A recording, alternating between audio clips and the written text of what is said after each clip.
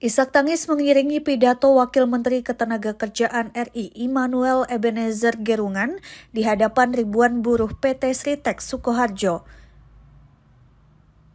Noel yang datang atas utusan Presiden Prabowo menegaskan bahwa pemerintah akan selalu hadir untuk melindungi hak-hak buruh.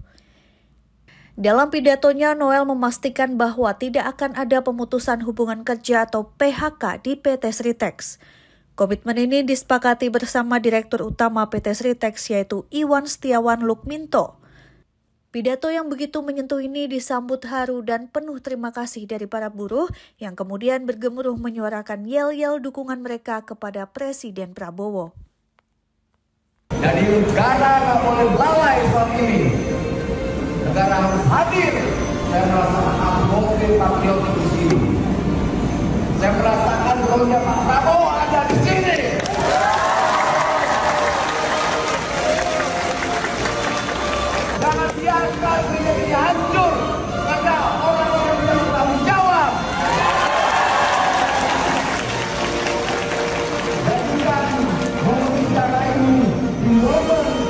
Bapak Pemuda ini kita kepakan tangan kita. Jual bersama Sritek. Semoga bersama terus kita sudah sampaikan terkait jangan sampai terlalu